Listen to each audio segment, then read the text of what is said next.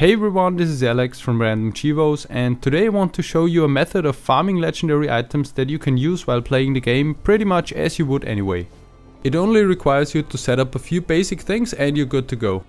It should be said that this won't guarantee you a legendary item on every enemy you kill, but you have a good chance of getting one in 5 enemies. So first you want to make a stop at Diamond City and visit Dr. Sun. Buy the syringer rifle from him and go to a chemistry station. One can be found right next to him.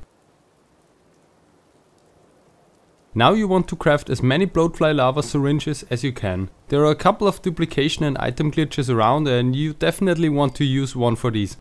If you don't know any, the link above will show you a quick method that you can use directly at a station like this. After you're done crafting a ton of syringe ammo, you have to put the syringes into the rifle. This screen will pop up if you press the reload button while you're holding the weapon. It's also important to note that the difficulty will affect your chances of getting legendary spawns. If you have a strong character already or are using a power armor, you definitely have an advantage.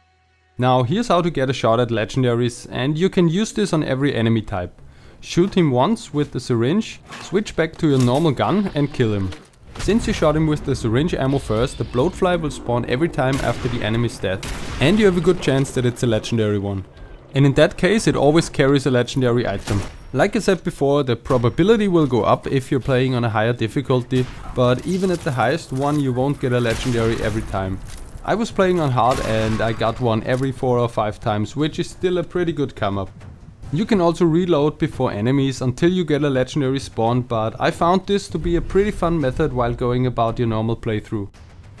Credit goes to a forum user over at gamefaqs.com for laying out this method, Link is in the description. Hope this helped out and see you guys next time.